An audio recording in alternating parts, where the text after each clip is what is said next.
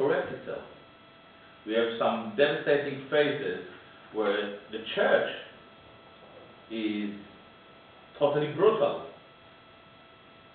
but it corrects itself.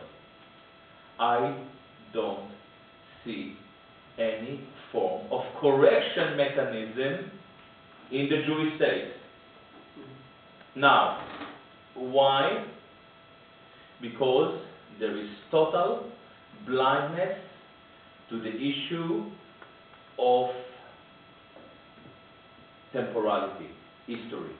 This is something that I must mention because it is a crucial issue. You ask yourself, how is it that they were beaten in 2006, they repeated in 2008? They did the same mistake in 2008, Mavi Marmara, a year later, the same mistake. How is it that Briti- the, the Jewish lobbies in America and Britain are now involved in exactly the same mistake Jews were involved in Weimar Republic? Something that brought the Shoah on themselves. How is it that so we have so many stories of Jewish suffering and they never learn? I mean, some definitely learn. I hope that I learn. I hope. Um, let you challenge me about it. And I realize that what we are dealing here is a very interesting lack of understanding of temporality, of the issue of time. I don't know if people know about it, but Shlomo Sand uh, wrote about it. Uh, but it is a, it is a, it is well researched now. Between 70 AC and early 19th century, there is not a single Jewish history text written by a Jew. Peculiar. There is no Jewish history. Why there is no Jewish history? Shlomo Sand, Shlomo Sand is a very interesting uh, Israeli historian, comes with an answer. He said, when you have the Bible in the, in the rabbinical Judaism, they didn't need history because all the answers are in the Bible. This is very interesting. 19th century, middle of 1840, 1850, the spring of the nation. They, they see a lot of nations around themselves, and they wanted to invent themselves as a nation, and they were very successful about it. However, I look at their history, and their history is very peculiar, and you cannot question it. You are not allowed to question the Holocaust. The Holocaust is like a religion at the moment. If you question the, the, the Holocaust or the meaning of it, you are an antichrist. So, a chapter in our collective history, there are some people in this room that remember it. I assume that you have a good memory of it. This is our past. This is my past as well. I cannot look into it. No one here in this room is entitled to look in, into it and to engage in with scholarship. Will- You accept that six million were killed.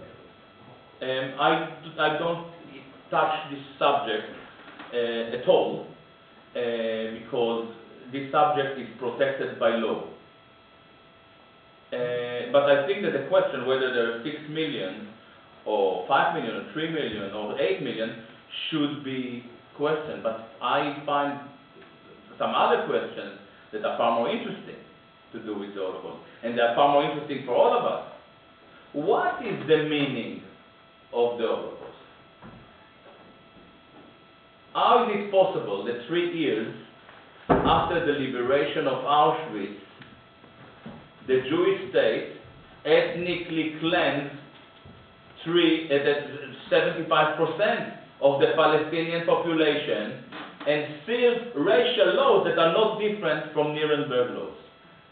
This is the question. Six million, five million, nobody knows. Six million is a, is a mythological number. It's a legal number. If you say 5.7, you can find yourself in jail, uh, in jail in Germany, which is ludicrous. Now, I just finished this issue of temporality, and then you will have to read because being a foreigner, you will have to read because what I realized about temporality is about the issue of time is that within the Jewish ideological concept of history, the history is molded. We do whatever we like to suit us. So, if we want to be friends with the Turkish, I said no, no, it's an Israeli. If you want to be friends with the Turkish, we deny the Armenian Holocaust. If uh, we have a problem with Turkey, then the Armenian Holocaust becomes as, as important as the Jewish Holocaust. Everything that it's like juggling, you know. Uh, Yeah. The question here is how do Jewish Israelis explain to themselves the denunciation by the UK and, the United Nations and most of the world in response to their vicious attacks on their neighbours? How do they explain themselves? This is, this is a, a very important question because when you are obsessed with the notion of chosenness, you don't really care what the goyim say. There was a very famous uh, um, Israeli prime minister, leader, one of the most Israeli, kind of Russian by origin, David Ben Gurion. I'm sure that you heard the name. And Ben Gurion said already in the 50s, it doesn't matter what the goyim say, all that matters is what Jews do. So it really doesn't matter what you guys think. This is the ultimate form of Jewish supremacy that is deeply, deeply imbued in Jewish political thinking. Is it, is it possible to- for that to change? Because it seems that you have to have a signal shift in that attitude if you are to move to a one nation, one nation state, which is the one that you support. For sure. Is that, I mean, is it, is- do you see the seeds of a possibility of such a change? It is a very, very beautiful question, and I tell you why. I just thought about it for the first time. Okay, we want to change it. If we change it in a collective, we are aiming to change it as a, in, a, in a Jewish collective shift of consciousness, it means that I maintain my Jewish collectiveness. But what is my Jewish collectiveness? My Jewish collectiveness is something that separates me from the other. So, in a way, for a Jew to depart and to drift away from tribalism and accept universalism is involved with the complete denunciation of supremacy. If you denounce your specialness, your exceptional, exceptionalism, what are you left with as a Jew, especially as a secular Jew? This is a big problem. This is a big problem. I get into a lot of trouble for saying it. But I have to say. What is the difference ideologically? I don't say that in practice it works. What is the difference between Christians and Jews? It's very similar. The religion is based on the same fundamentals. But at least theoretically or ideologically, Christians are Jews who love their neighbors. Now it sounds funny, but it's not that funny. This is Christianity universalized this tribal ideology. Now, how do we lift this ideology uh, so it is it kind of it, it moves it drifts away moves away from this chosenness. This is a spiritual shift. Can I go back to this word? You've spoken of the chosenness. How can the Jews so misread their own scriptures? Because nearly every time that uh, it is recorded that God said, This land I will give to you forever. Yeah. In the next verse or two, he, it is written, Provided you keep all my laws and commandments.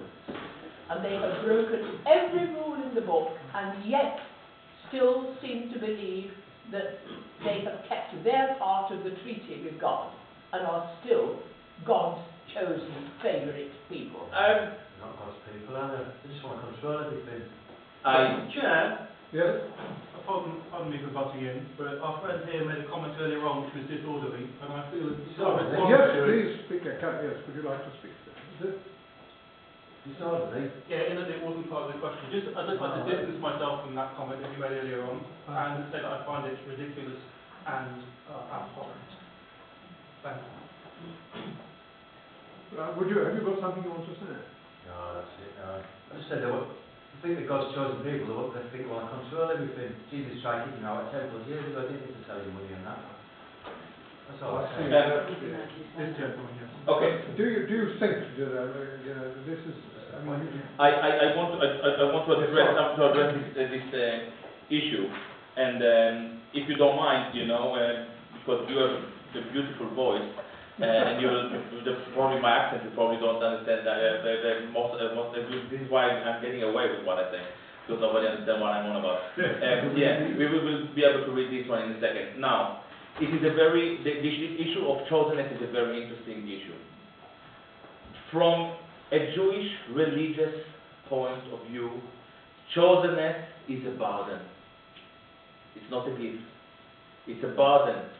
God commands his people, his chosen people, to stand up as an exemplary force.